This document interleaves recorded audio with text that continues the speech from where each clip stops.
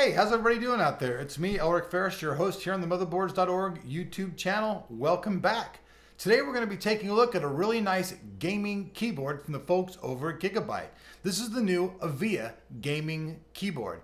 Has lots of cool features and is game for you, the gamer. So right now we're just going to take a look at the unboxing. We'll get into a full review later and let you know more of the details about it. But for now, let's see what comes in the box of this new gaming keyboard from Gigabyte. I'll start out using my old trusty knife. I know it's a small knife there, and I'll go ahead and make an insertion here to begin the unboxing. There's two tabs here that you can click and unbox. There's also a little logo here. The camera can get in there. It shows you that this is compatible with Windows 7. I'd imagine that most things are, but that probably means it's pretty plug and play and gets detected.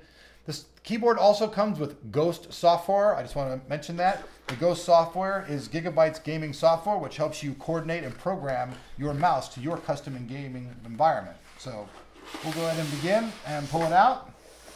And we've got a giant size black box here. And I'll go ahead and probably turn it over this way. Let's see which way it goes. No, it goes the other way. So I'm gonna go ahead and pop this open. And we can see the keyboard in here. It comes in a fully condensed plastic bag. There's some actually WASD keys right here. I'll try to get, get that over there so you guys can see it. Start, start from there, some actually W. All right, sure. Go. There are actually some extra WASD keys right here so you can see. Those are the most keys that gamers use, get wore out the most. So we'll go ahead and go look, look here. There comes in a, trying to get it out of here, the bottom underneath here was kind of stuck with some sticky stuff here. So I pulled it out from the bottom, and this is the Aivia software installation guide.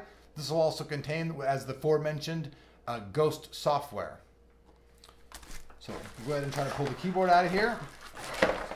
It's got a little thing in the back. Try to get it out of here without breaking anything. Pull that out of there. Also, there's another little plastic piece right here for your cable management. For using your little wire up. Then we'll go ahead and begin to take a look at the keyboard. Go ahead and tear this plastic bag off of here as uh, graciously as possible as I can. Whoa! All right. You guys like that when it goes crazy. And at least I didn't hit the mic. Hey, always a good thing. Otherwise, you guys get the big old kaboom inside your videos. So, all right. Here's the keyboard itself. Comes with actually protective layer over it. Some people may want to use that. It's kind of trippy feeling. Go ahead and remove that off there and show you the keyboard itself. A lot of the volume and everything is actually controlled by your fingertips. You just slide it across here that raises it and decreases your volume.